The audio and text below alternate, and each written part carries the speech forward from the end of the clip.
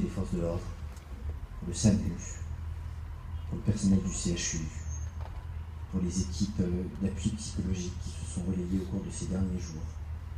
et qu'on puisse peut-être euh, marquer par quelques applaudissements notre reconnaissance à tous ces professionnels qui ont fait un travail plein de dévouement.